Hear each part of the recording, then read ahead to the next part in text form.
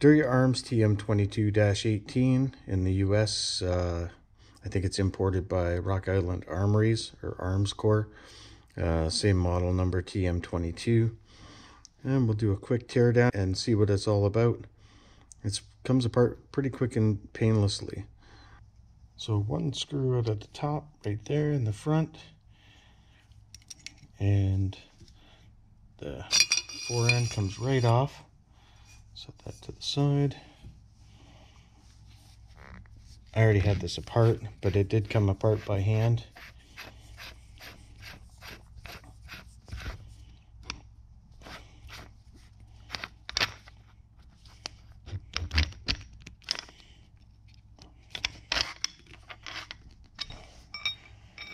Barrel comes out nice and easy. We'll have a look at that after. Charging handle is pretty quick and simple. One screw pulls right out. Doesn't seem very beefy though. It's an awfully small bolt that holds that together. Make sure you undo that before we take the top rail off. top rail, two bolts.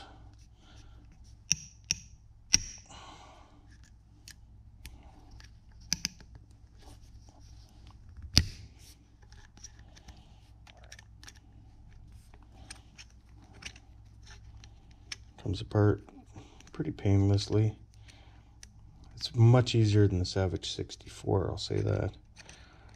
Which takes much more to pull, even just the full teardown on the 64 is much more difficult and time consuming. So you can see the slide assembly there. Uh, it's just a notch in the front here. Notched in the front and same in the back just a little notch that it sits in. The bolt return spring, push a little pressure on the forward and the whole thing slides out nice and easy. The machining on it's nice, looks good. Uh, protrusion on the, it's got a rectangular uh, firing pin and it protrudes just a touch past where the breech face is there so it should be all right. I'm guessing everything I've seen so far says that these things fire pretty consistently, so no light strikes, but we'll find out when we get to actually shoot it. Takes commercial spec. I didn't bring the wrench, but this is commercial spec, but they're all the same size, so I'm, you can pretty much put any AR stock you want on there.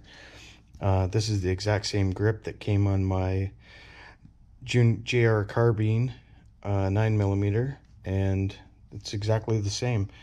Except this one has a plug. I don't know if the JR carbine did or does.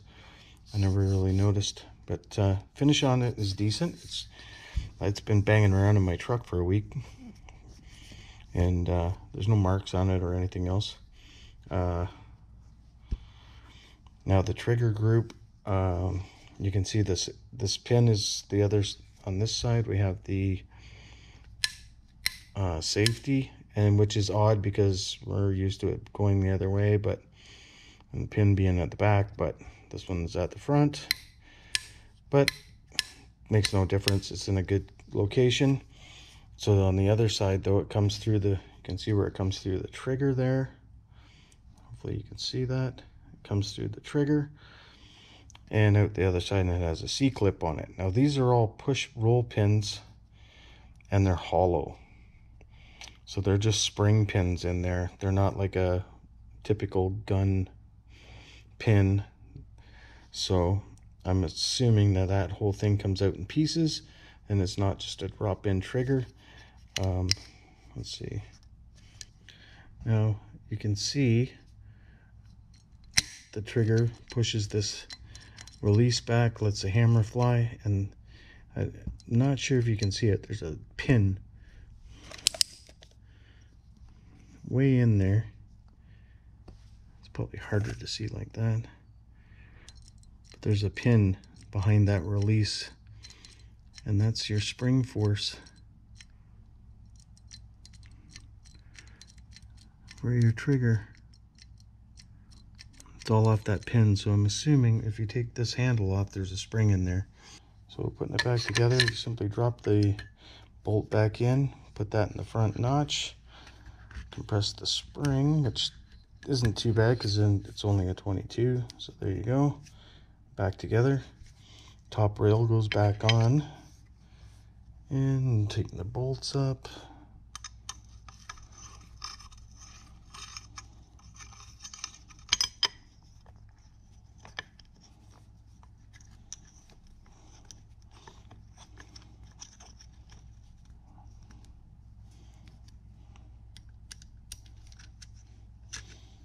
So I'm not sure if a trigger AR trigger group would, drop in there if you removed all that. I'm having, I have my doubts. I'd, I'd have to take this pin out, take that pin out and measure it and make sure it'll even fit through the trigger group. And I don't know, it doesn't say anything about the trigger. The trigger is very light. It's got a hair trigger for sure. Put the other, put the charging handle back in there. Sorry about the shadows. It's not very well lit in here. I got lights on order. Let's inch that down. Get it back up here where you can see it. So we'll have a quick look at the at the barrel.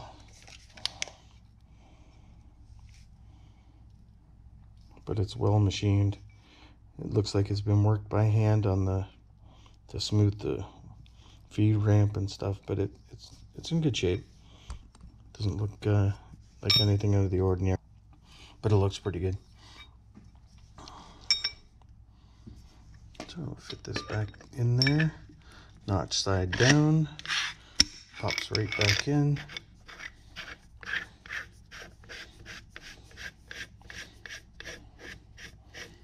Obviously the wrench that comes with the gun will makes it easy to get that on and off. Slide your fore end in and you'll notice that it has this notch in the top. It's built so it fits right in the in that rail and slides right in. So once you put this in there, bolt that down. It's totally free floating barrel and I like I actually like the simple design simple design, quick and easy. If you have to take it apart out in the, the range or something, it's going to be nothing. I'll show you the trigger pull. So it barely moves. And it's pretty quick to uh,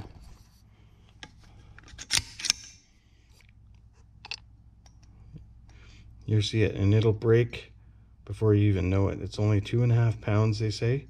And I believe it because I barely got a finger on it there.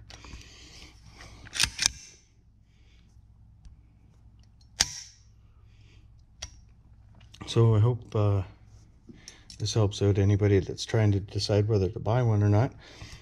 I know there was some controversy on the on the barrel in the states on some of the guns the guys tested. They had did not have half 28s. This actually does.